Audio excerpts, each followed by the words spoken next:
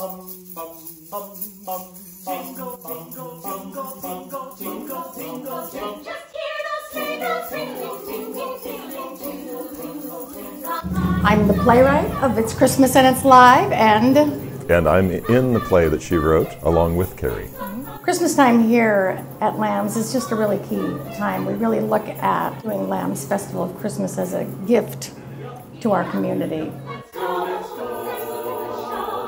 I feel just privileged to be back after a number of years to uh, work with friends again and to um, to put something on for a community that I appreciate here in Coronado. It's uh, uh, so I feel like I'm getting more than I'm giving. Hi, my name is Katie Grady, and I am Roseanne Harmon in Festival of Christmas. And I uh, was born and raised in Coronado, and I'm so lucky to have gone to Coronado School of the Arts.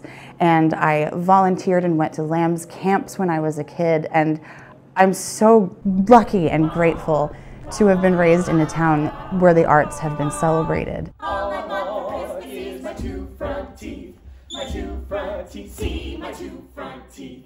Hi, I'm Robert Smyth.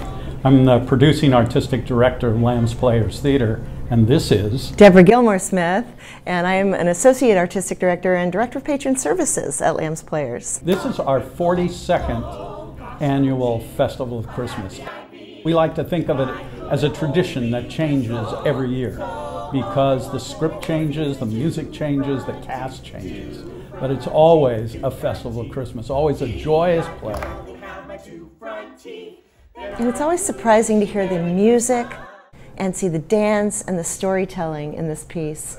Uh, this one especially is just a hoot. It's really fun. It's got great music in it. The cast is remarkable. Just hear those sleigh bells ringing, tingling, tingling, jingle, jingle. Come see the show. Merry Merry Christmas. Christmas. Come